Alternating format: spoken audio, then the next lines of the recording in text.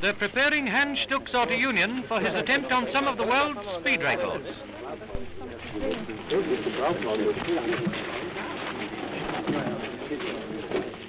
He already holds the world's hour record, and his machine's just being run out to attack the standing kilometre and mile times.